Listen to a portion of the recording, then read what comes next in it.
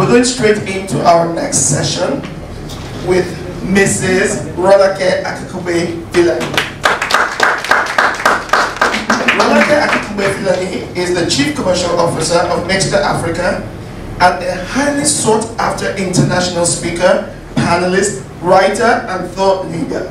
Rolake has been featured on the BBC, the CNBC, and other international platforms where she's often called on to review the global energy markets, the economy in general, and present summaries of events, trends, and emerging themes.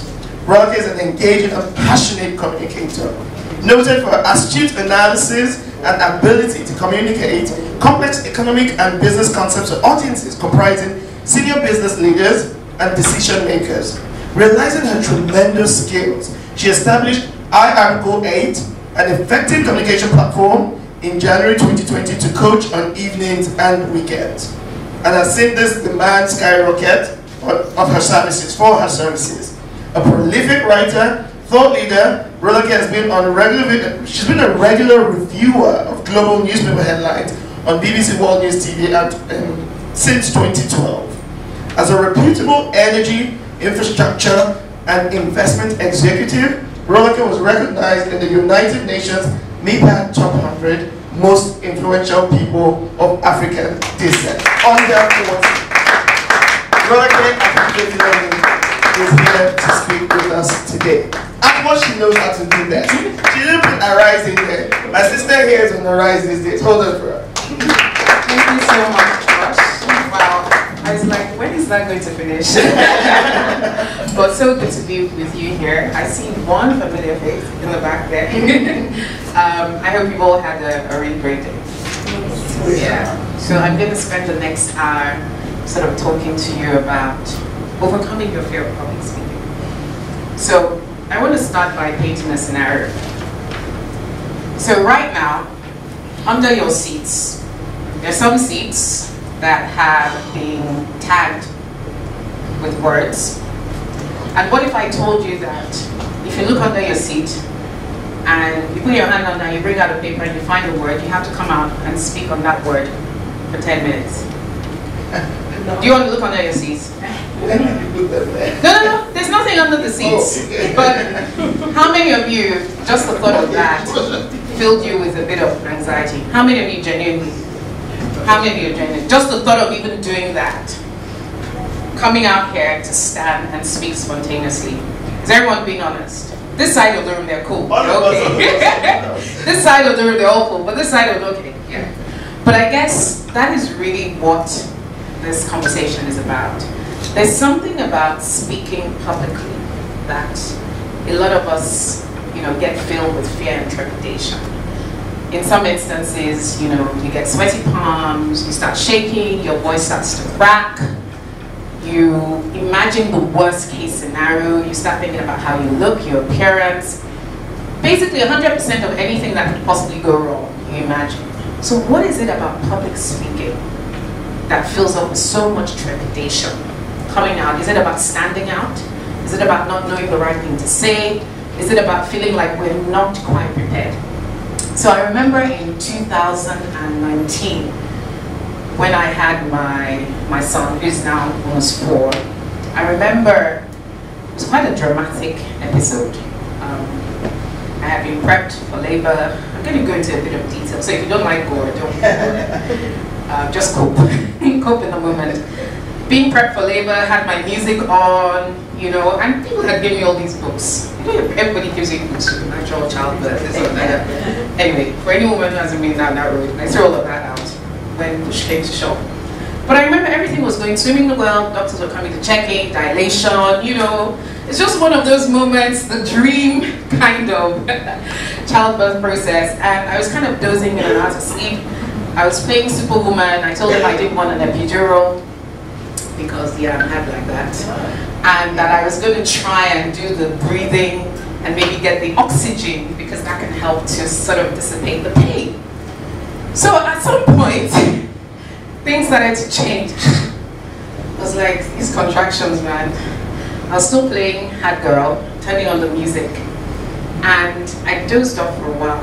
Next thing you know, I heard the hospital door slam open and someone shouted, Mrs. Filani, Mrs. Filani, we have to rush you to the theater.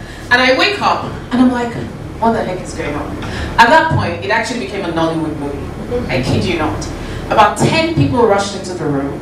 And if you know how these wards work, this was in the US at a hospital called Howard. They're monitoring you from outside. Your baby's heartbeats and everything. They're monitoring from outside. So literally about 10 different types of specialists rush into the room. And the bed I'm lying on, it's like a normal bed, but it's amazing how they, that bed quickly trans. It's kind of, they turned it, it was like Transformer. It turned into a bed they were wheeling. At that point, my mom and my husband, I didn't even know where they were in the room. It was all a blur.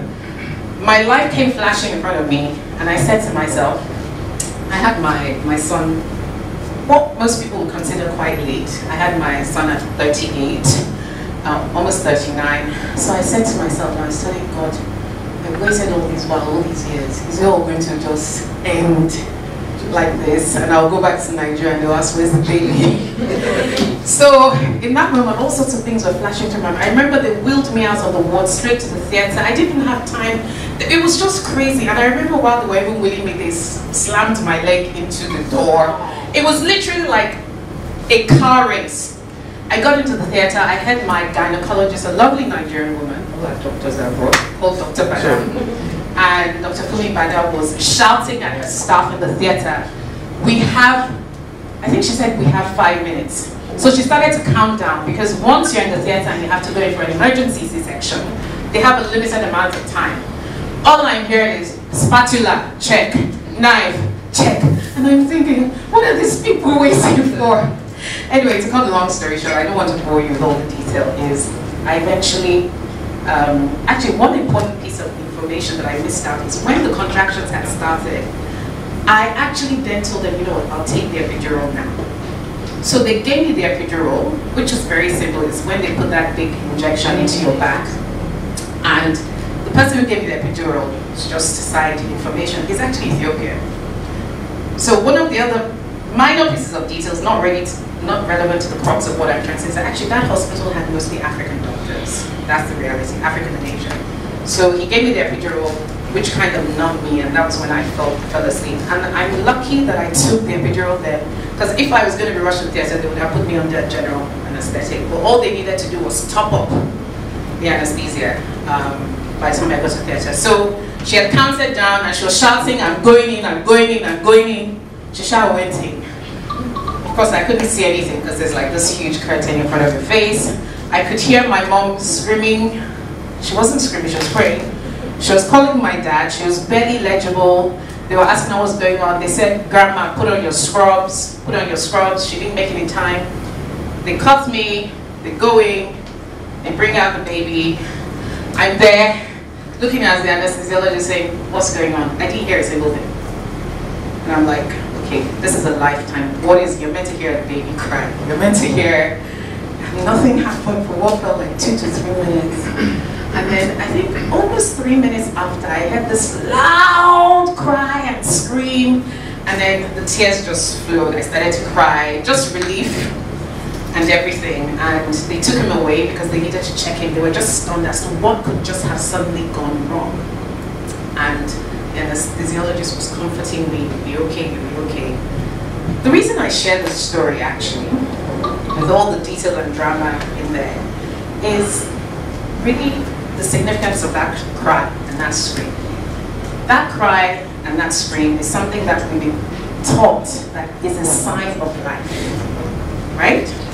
So everybody knows the sound of a baby that has just come out, being born into the world. If the baby doesn't cry, or scream, or shout, there's something fundamentally wrong. Or you think, so that is what you look out for. So the big question I ask is, what happens to us from the time we're born to when we start to hit this age of adolescence, teenage years, where our voices suddenly shrink? Because that is how we came into the world. Right? There is something innate in all of us as human beings that means we want to announce ourselves. We want to express who we are. It is an innate thing. So when people talk about is public speaking nurture or nature, my answer is it's both. And I'll tell you why. And this story illustrates the nature part of it. Which means everybody has an innate ability to speak. Right? But you have to nurture yourself into acquiring the skill to refine that innate ability. So a baby is born, you all come out kicking and screaming and shouting. And by the time you reach the age of three, four, five, six, most of us have grown up, grown up in traditional Nigerian households. Somebody is telling you, shh, use your quiet voice. Children should be singing and not heard. Don't speak loudly. Why are you always talking, talking, talking too much? That is environmental. Subconsciously, by the time you reach secondary school. You know, I have, my son is almost four now. He asks questions upon questions upon questions. And because I'm now a public speaking coach, I'm very conscious about what I say to him when he's shouting and when he's screaming and how I calm him down. I will never tell him, stop talking. No, I will sit down and have a conversation. Because now, as, I, as a parent who is coaching public speaking, and I speak and counsel students when they come to me for consultation, Many of them pointed things that started years ago in their childhood, which have somehow framed their minds around their ability to speak or not speak. So for those of you who are parents or parents in the future or desire to be, that is one lesson. Then we go through primary school, we're still a bit of boy energetic. By the time we get to the teenage years, the peer pressure of I want to belong, I don't necessarily want to stand out too much, I want to blend in, and that pressure goes beyond clothes or mm-hmm. drinks or maybe the drugs and alcohol. That pressure is now more psychological. And so the point I'm trying to make is, in adulthood, this is my estimate that 89% of our challenges and fear about public speaking started many, many years ago. And many of us cannot even trace the root. And much of this is subconscious. And that is what foundation I wanted to lay. For some of us, not for all of us. If you've done all the lessons and you've had the beautiful talks like this that have inspired and empowered you, and you still can't get over your fear or supposed fear of public speaking, some people may need to dig deeper. And I often have times that people come to me, I want to learn how to be a better speaker. By the time I finish talking to them and counseling them, or coaching them or consulting with them, I realize their problem is actually not public speaking, it's something else. There's some other issue going on that requires a higher level of counseling, which I can't deal with. I know it all sounds spooky, you're probably wondering, we're like, why did you all go into that? So, I talked about the origins. The second part of it is social conditioning, which is slightly similar. One of the tools and techniques that I used for myself in the very early days, and one of the reasons I had to do this, if you knew me in the early days, I'm uh, at an event, a conference, I'm asking a question and I'm literally sounding like this, my name is, well, I can and the question, uh, that was me. And it's hard to imagine now. I'm not even the one speaking. I'm just asking a question. And in that moment, I have to work myself up into a stupor to even sum up summon up the courage in a crowd to raise my hand up. Each step is like a major opening. Before I summon up the courage to say, can I ask a question? Right? Now, there's an element of social conditioning. So if I want to ask a few of you in this room, when moments like that happen, what are some of the things you fear? Just maybe voice them out. I don't know if there's another mic. Yes. Yes. There's no right or wrong answer. Usually perception. Okay. Okay, I'm I doing something wrong? They think I'm something wrong? Is there anything? Usually Per- perception. Perception, yes. There's the lady behind you. Or maybe you could say your name before you also. I'm ABC. Okay. My name is Consola. So the fear of actually saying rubbish. Okay. Fair enough. Perception, saying rubbish. Anybody else? Good afternoon. Uh, my name is Sumi. I think the pair of um, your words just tumbling around. I love it. I love That, that type of pair. Yeah. Um, my name is Stephanie. I, I think it's the pair of what if I'm saying what I'm thinking wrong. Okay. okay. So same as same rubbish. Yeah. Anybody else? Okay, for me, I think I'm giving the opportunity because I can, I intend to be active in the church organization. So I'm always afraid because I know there's always this, you know, there's a really structured speech, you don't get people lost. And for me, people have to just, people to tell me that, see, it's until you are completely that you. So basically not making sense, sort of Yeah. losing your train of thought, yeah. My name is Ire. I hear as my stand to say something and then I just go blank and I just say good and then nothing's coming out. Okay, any, any more contributions? Okay, we'll take one more, the last one, yeah. My name is Ozzy. I think the fear is when to stop conversating, conversating with people. Okay, when to stop Conversating. Okay, when to stop speaking. Okay, so all of you have picked up the mic, you've all talked. On the face of it, you all, you all sound like you don't have a problem talking and contributing your opinions here in this context of the room. Why do you think that is? I mean, you've all said all these things, and I've asked you a question, and you boldly come to the mic to speak. Is it because I forced you? So why do you think it is that you were just able to express yourself? I mean, yes. I think probably because it's, they're becoming a familiar face. We started yesterday, so many of them have been here yesterday. Okay. Today. So maybe there's some sort of you know, the population is not such a large. Exactly. crowd. Okay. Yes. Okay. Size. And because you can relate to what she was saying. Okay, all right. So one of the things, and this is why social conditioning is so important, one of the ways I started this conversation is to tell you a very relatable story. So I'm coming as a public speaker. I've told you a very well, relatable insofar as you understand human reactions to emotions, not that you've been in that exact same situation. And that story to some extent has helped you relax. For some of you, maybe not so much.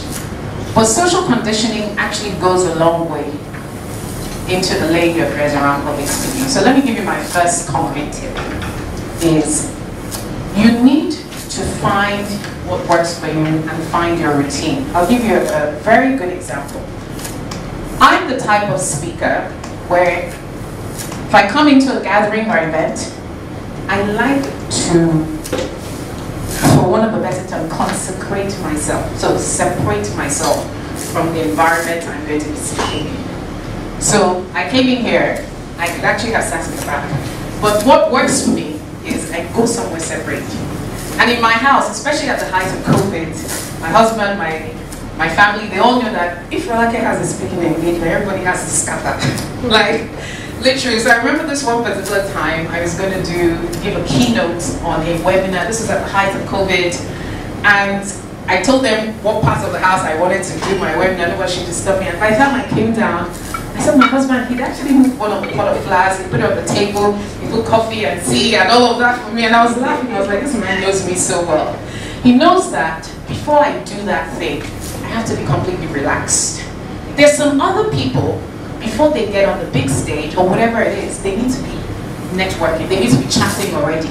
They need to be doing what sounds like speaking, right? And I figured out that what actually helps my nerves, me personally, because of my personality, and actually I'm more of an introvert than an extrovert, and I'll explain how that links to public speaking. I need to remove myself from people before I go to speak. If I don't, one of the first things that will be happening is I will never be present in a whatever conversation or moment because my thoughts are focused on what I'm going to be doing next. And secondly, I almost feel like if I'm talking, the strength and depth of what I want to say will be diluted by these conversations, right? Now, so you have to first of all figure out where your comfort zone is in terms of your preparation. And the preparation I'm referring to is just before. There's the preparation that happens in the weeks and months, but there's preparation related to just before that moment, where it is a predictable moment. Of course, there's scenarios where you haven't planned and someone just says you should do something, right? So that's the first thing. The second thing is, ask yourself where the anxiety, the nervousness, or the fear is coming from. Sometimes asking ourselves questions can actually help us unpeel the layers. I remember a very good friend of mine who's known to Tosh actually. We're kind of the same sister circle. Um, we went to speak somewhere together. And of course, your friends, they all know your strengths. We know each other's strengths. And, you know, they know me as a reasonably good public speaker. And I recall that before we went there, she was like, they put me right after all I came. and we all have those moments. And for her, that was a thing. If you're coming to speak after someone you consider a good speaker, right? You've already articulated that situation. You've, you've made it a thing.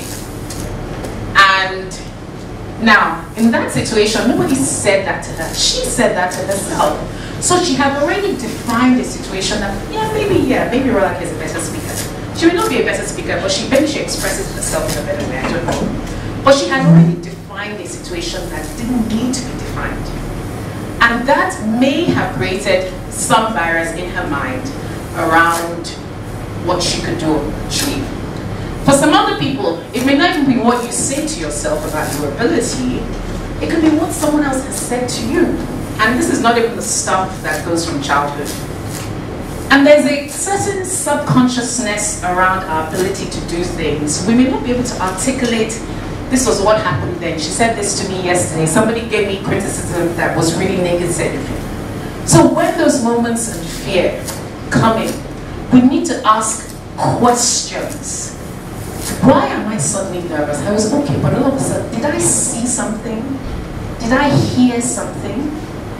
Did I watch Barack Obama on a YouTube video just before I came to this talk? And I said to myself, I could never measure up to that. Now, if you're that type of person like me, I would, if I knew a Barack Obama was speaking before me, I probably wouldn't come into the room, right? Because that's what, what works for me. I don't need to tell other people that's why I got into the room. Because the consciousness and knowledge of what has happened, now for some other people, it will inspire them. And that's okay. Which leads me to my third point about personality. Personality in public speaking is absolutely crucial.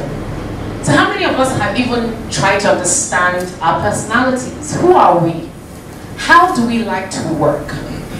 When we practice for a talk or presentation, how do we do that? Are we the kind of person who goes in front of the mirror, records, looks at ourselves, or are we the kind of person who wants family and friends tell me how I did? That's usually the second one is usually the extrovert type of move. The introvert doesn't want all that nonsense. They would rather actually just figure it out by themselves. So your personality is not only important in your delivery or your style of delivery, it's also important in how you prepare. Right? And speaking of preparation, point number four is most people underestimate the power of preparation. You know, I watched a really interesting video, I think it was Bella Disu, and she was talking about, Bella Disu, she's Mike Adenuga's daughter, and she was reviewing her year. And she was talking about the fact that, especially women in the workplace, where we talk about career advancement, we often sometimes talk about the fact that people don't give us opportunities and we need to take our seat. They're not giving us a seat at the table, bring your own table and seat and all that, blah, blah. That's all good. But one of the points that she made that I thought was really, really insightful was, what if there's a knowledge gap? And most of us don't often think about that.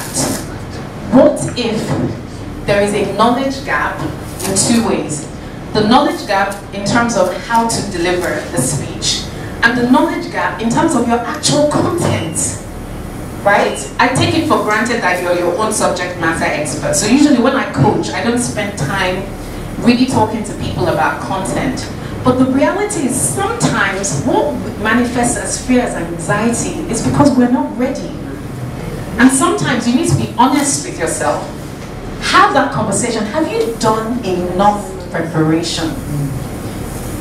And perhaps next time you make the necessary adjustment. And sometimes you often don't know if you're ready until after the fact, right? So I think that was point number five. Yes. Four. Was that four? Four. Okay. That was point number four, number five. Okay. Now something that often affects a lot of us. There are a lot of people here, if I ask you, do you like being the center of attention? How many people say yes? How many people say no? It's okay to be honest. It's not a You, you like being the center of Yeah. attention? Yeah. I, I love that. It goes both ways. Sorry? It goes both ways. Like, why would I disappear? Okay, so what sort of context do you like being the center of attention? Uh, like, like in business discussions, winning. Okay, I like the winnings. okay. Uh, And what context do you not like being the center of attention? Like uh, when there's so much talk and it's not making sense and When you are not making sense. no, like the people with the so much talk. Okay, okay. So I think what. I hear you say is there needs to be a reason to be in the center of attention. Yeah. So, like, you're in a meeting, for instance. I, I don't know No, please continue. So, if you're in a meeting, would you want to just disappear into the meeting? Like, No. because what I meant was, I don't want to disappear in rooms. I find a room, you have to go and kill me. Leave your mark, right? So um, there's this quote, and I'll explain how I link it to the center of attention. I think the way to think about it is to make your idea, not you, the center of attention, right? And the quote is, if you carry a message of hope and healing, your greatest responsibility is to get out of the way and let the message work its way through you. So when I think about people who really struggle, because there's some people I spend six, seven, eight weeks with. I coach them, give them scenarios. Sometimes they go for cancer, but they still struggle. Another way I put it to them is, if the essence of your message, if people's lives depended on the essence of your message, how would you deliver it? So if you knew that what you had to say or deliver there was a lot at stake. If you didn't say it or deliver it, how would you deliver? Would you put your fears and anxieties aside? You would, because there's a lot at stake. So when you think about passion and purpose, and you know, it's the purpose part of public speaking which is really important, which can help you overcome fear, is if you have a sense of purpose around why you're doing what you're doing, and what your intended outcome is, and what is at stake if you don't do it, it infuses a sense of life and renewed vigor into what you're doing. Right? And it doesn't always have to be dramatic situations that people will die if you don't talk. It's never really quite like that. I mean, there's some scenarios around that. You say someone finds themselves in a court of law there's a lot at stake, someone's about to be convicted or something. But mostly in our everyday lives, it's generally mundane things, things that have to do with what we care about. If you're trying to rally people to donate for a cause that you really believe in, how would you speak if you knew your target was one billion naira? You would speak with passion, and there's something about passion. When you're passionate about something, your level of self-consciousness drops, right? And it goes back to this idea that I said about if you have a message to deliver, your greatest responsibility is to get out of the way. You get out of the way of that message and let the message work itself to you. So you almost see yourself as a missionary, right? You're a messenger who's going to deliver a gift to an audience or a group of listeners or stakeholders, whoever, whatever that context may be. So the sense of purpose should always be the big why question. And this I teach under a whole area of public speaking called the essence of public speaking. It's not just this thing we do because we want to sound eloquent, we want to win an election, we think we have good oratory skills. It is something that is really, I would say, existential. Absolutely existential. And if you think back to some of the great speeches, if you think back to, there's a guy in the UK called Enoch Powell, he talked about the rivers of blood. And it was one of those speeches that actually led people to go and try and kill other people.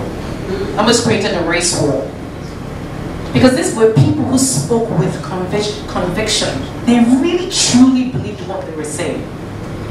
And of course, we know the great Martin Luther, right? We know his speech.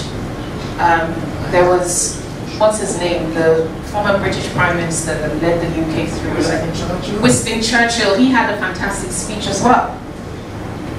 So those things are absolutely really important. They had a sense of purpose, and a lot of those leaders, to be honest, some of the great speeches were born out of times that were really difficult in our global political and economic history. So these people were facing literally situations that could wipe out nations. So for them, the stakes were on a Richter scale that wasn't seen before. So the question for you is, what are your stakes in your own little domain, in the areas that you speak about? And I'm sure many of those leaders would have been gripped with fear. And you know the funny thing about fear? Fear and excitement really ride on the same hormone. That hormone is oxytocin, I think. Oxytocin is happiness. I think fear is But apparently they have the same wait, hold on. origins. Is it do- In God bless you.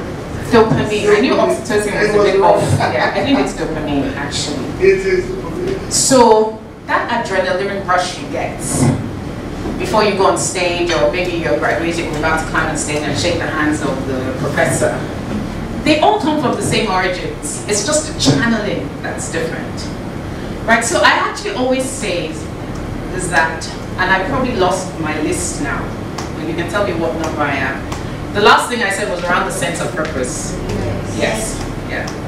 I think I have about 14 or 15. I'm not going to be able to get through all of them. But I think I will give you enough to lay a foundation. And it's important to have just a slight bit of anxiety, no doubt. Just a small bit. Why? Who, who can tell me why? Keeps you sharp. Yeah, absolutely. I think it's actually positive to have just a small bit of anxiety, not the crippling kind, but the kind that propels you. Because guess what? It's the same dopamine that's creating that feeling. Adrenaline. And someone once said, is it happiness and anger? Like, I don't know how they describe it, but yes. Two sides of the same coin. Yes. So, and in the moment, it keeps you on your toes. But in the long term, some level of self-doubt, and I caveat that heavily, some level of self-doubt helps you close your competency gaps, right? Because you always feel that you need to do better, you need to get better. The level of self-doubt which then spills into imposter syndrome and it starts becoming an out talking negatively to yourself, that's not the type we want. But the part we want is to realize that we're lifelong learners. So if your palms are just a bit sweaty, that's okay. There's nothing abnormal about that. So I also don't want you to live today thinking that if you're in a moment and you're not shaking, you're not doing anything, that is nah. We also don't want that because overconfidence too has its its own. Because and in fact, what that leads to is you end up developing blind spots. And it's important to know that self-awareness and self-consciousness are two different things. Self-awareness is absolutely important. The awareness of how you are feeling in that situation right now is key. And a lot of people are not even self-aware, which can be a killer because you run headlong into a situation and you don't really know what you're doing. So that's important. And then the other point I want to make is fear sometimes comes from a lack of control or the feeling of a lack of control. There was a time I used to be a really, really terrible flyer, traveler. and I saw a video recently of a superstar that was really shaking on the flies. I was like, wow, this thing is really, it's everybody.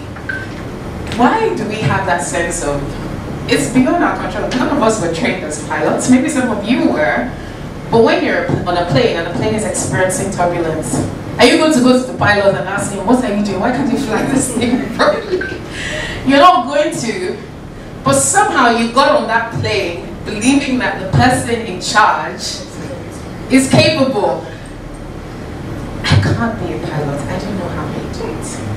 Sometimes I carry 300 people, 200 people. It's, you know, it's, it's a, I think it's a thankless task.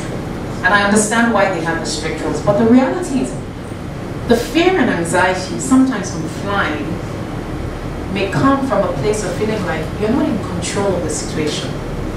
You don't know anything could happen. And none of us like not being in control. That's the reality. It takes a lot of effort and grace to fully surrender to things. And sometimes, when we find ourselves in a speaking scenario situation, there are many outside factors. I imagine worst case scenarios, and because I wear heels, I'm quite tall. Sometimes I think, climbing up the stairs and I fall, it's going to look really disastrous, right?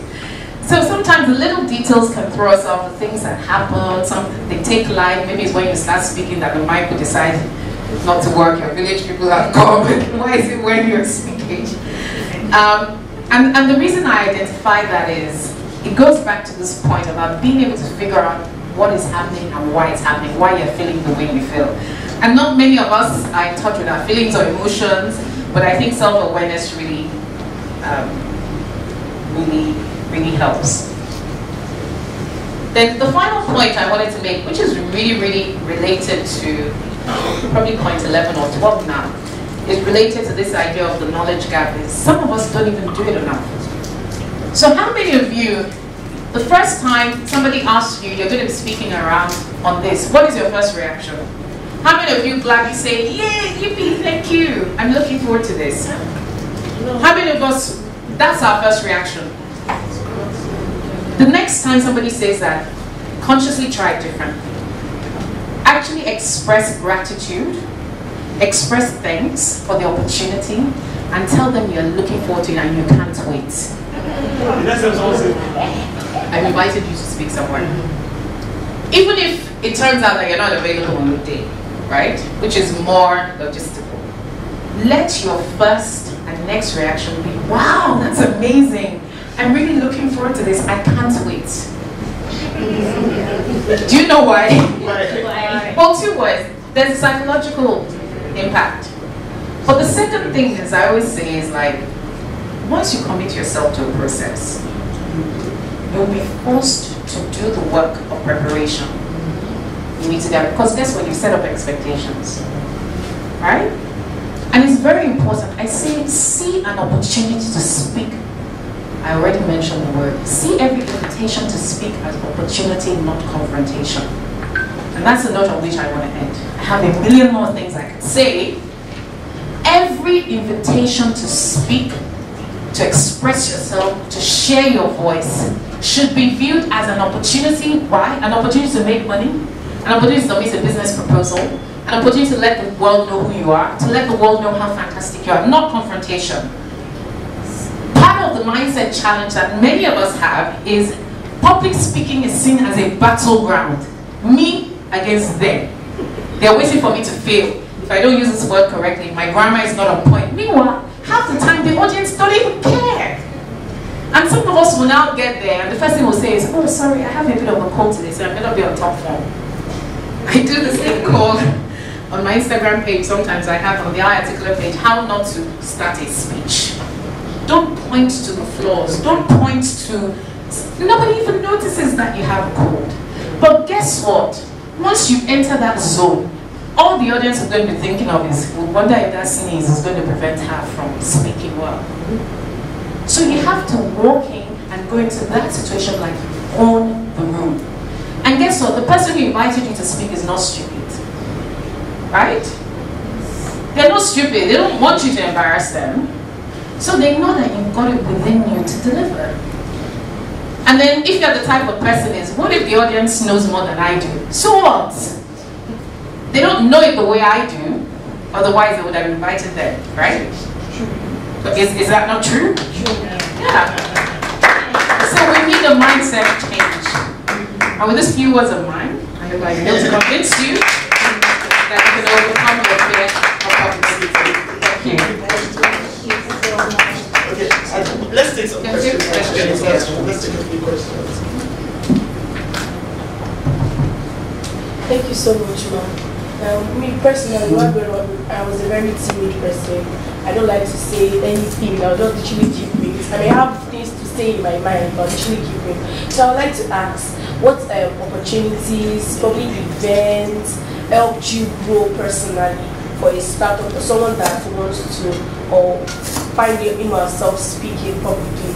Did you register for events? What assisted you major? What step did you take? Yeah, I think that's a great question. I think for me, it was really the universe of friends and family because those situations kind of created a safe space for me to showcase myself, showcase who I am. I remember when I set up iArticulate in 2020, you know, in the previous years, a lot of people have been giving me feedback about my ability to speak and communicate and how I talk and all of that. And I was like, oh, this is interesting, but can I really turn it into a business? Sorry. Okay. No, still on your friends and families. We still have some people because I hear people say that it takes um, you to believe what you do for others to join the train of Absolutely. So if you're starting for the first time, uh, people will definitely throw bad comments at you. Some people may not even give you the encouragement that you need. So is this still comfortable to push on? Of course. stage? Have you not seen that reel on Instagram of that little child going through a tunnel? Has anybody seen it? So you know these um, water fountains where you go through a tunnel and you land in the water. So I think the child's dad is a toddler. The toddler's dad is there. The child pushes the dad, and then the child then pushes itself. It's the cutest thing. And the caption was like, sometimes you just have to push yourself. And, and that's really it. I think it goes back to what I say about the voices. Now, there's something I call the virtuous visibility cycle, especially as a business owner and startup. The first step is to embrace and accept the opportunity to speak, right? And your reaction and what you say to yourself in that moment is key. Once you do that, even if people say you can't do it, use feedback as fodder, right?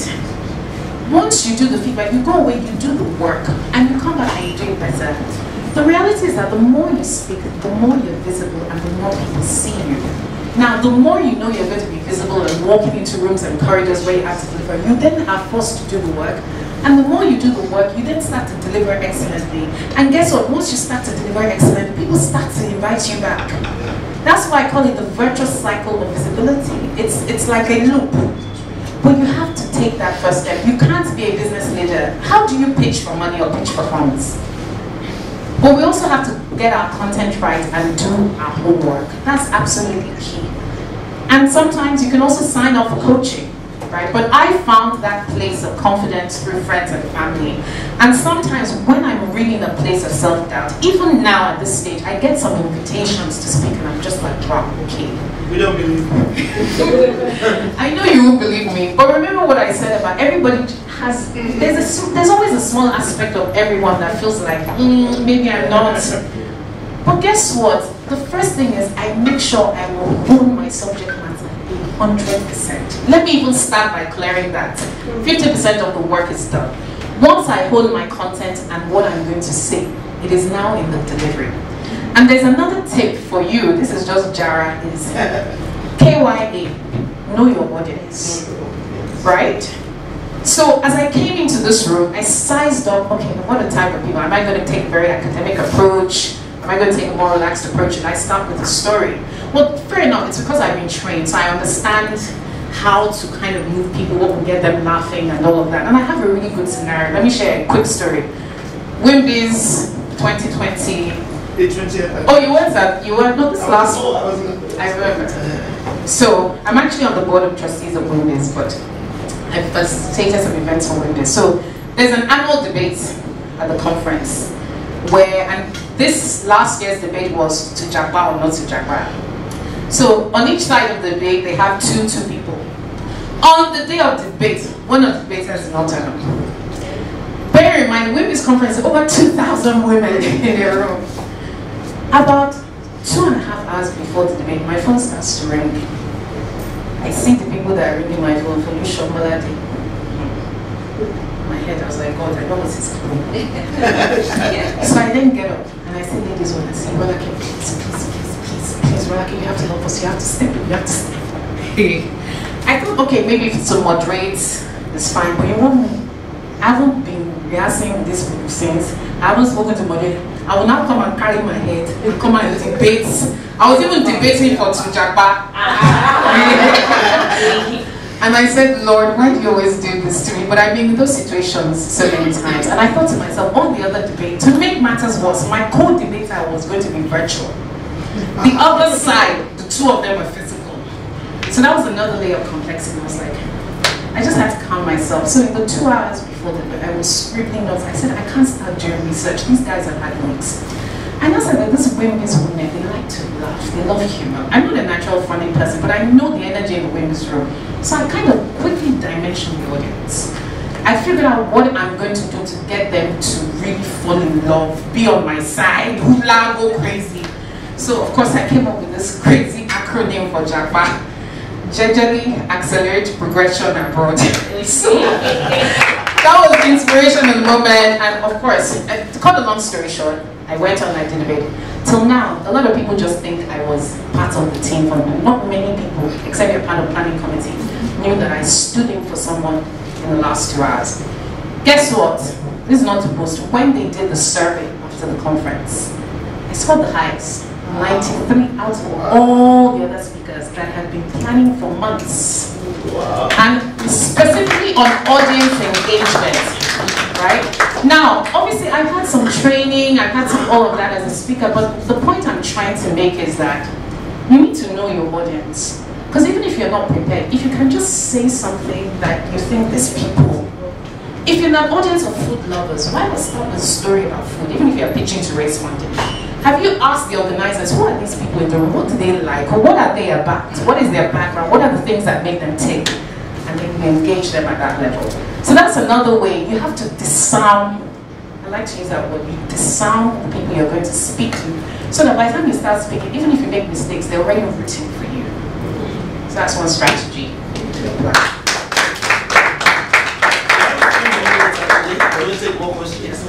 Yeah, so I want to ask, what's the place of your tone of voice in public speaking, and at what point do you bring in a sense of humor? So imagine you're speaking, yes, just as you said, you need to understand the audience. But you realize that everybody's just like, okay, either they're too focused or so at what point do you think you should bring in some, even though you're not a comedian, you don't know but I know in the practice, there should be a way how you need to bring in some sort of sense of humor to calm the environment and ensure that the audience are connected back to you. So yeah. that's the question. The tone of voice, what's the place of it? Sense. Okay, so I, I always say to people that if you're not a naturally funny person, humor should not be your go-to go-to strategy because it can be the most mortifying thing to try and make people laugh and they don't laugh. It's very embarrassing. It's very embarrassing.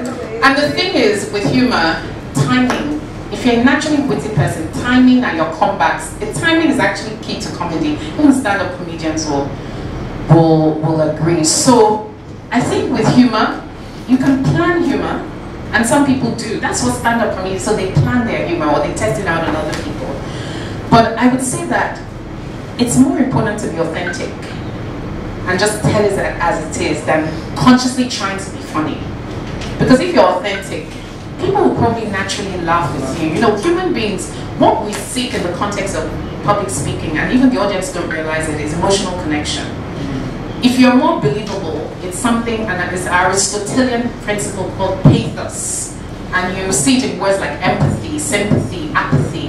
It has to do with connecting with people emotionally. Once you can connect with people emotionally, it's easy to get them to do anything. You can, you can get them to cry, you can get them to laugh, you can get them to be, you know. So, but a lot of that comes from storytelling, telling true, authentic stories that illustrate the point. And this is something my husband wants, always says to me, well, okay, if all else fails, just tell them a story, right? And that people just find emotional connection with that. Tone of voice is something called vocal variety, which is absolutely key. I think the way I would say it is if you, if what you're saying and the way you're saying it are not in sync, Your audience will always believe your non-verbal signals first. So I can come to you and tell you, I'm really, really happy. You're not gonna believe me because my body language or my tone of voice is not in sync with the expression of what I'm saying. So I think tone of voice is something you need to practice. But some things should come naturally if you have a sense of purpose. If you're trying to describe to somebody that something was really you just say it as it is to express it so that you can convey the message. Right? But I think all of those things, if you look at the winning formulas, the combination of how you use your tone of voice, your hand gestures, how you connect with the audience, how you engage them, you know, in public speaking, the audience is also speaking too. So when I'm talking to you guys, I'm looking at non-verbal cues. I know the people who from the beginning have been really plugged from the start. And I can decide in the middle of a speech, I'm suddenly going to shift gears. So I can walk up to this table here, because they've been the most quiet table since I started speaking. and I can suddenly do something that will shock them or surprise them. If I notice that somebody is on a mobile phone. I can just suddenly ask everyone, stand up guys, we're going to engage each other. It's something called shifting gears. It's like when a teacher walks into a room at school and everybody's making noise. One of the ways teachers shift gears is they just they're just silent, and then the room goes quiet because they're like, okay, what's going on? So you can only shift gears successfully if you're in tune with what your audience is doing. Because communication is always two-way. They're, they're sending you messages. They're telling you when your time is up. They're telling you when you're waffling. And they don't need to talk to you to do that. So you have to be a master multitasker mentally as a speaker. No, I mean in a big room, you're not going to be able to do that as effectively as here. But you can gauge the mood. So Yeah. say speaking is psychological. Yeah, I think speaking, a lot of it is psychology. It's actually human psychology. So I actually spend more time teaching on the philosophy of public speaking rather than telling you pronounce your word because all of that one is just yeah. If you want to go to a diction and elocution coach, yeah. But my focus is really more around the psychology and essence of speaking. I don't want to spend time coaching people. This is how you pronounce words. That's not really the important stuff. Except you want to work in TV or something. so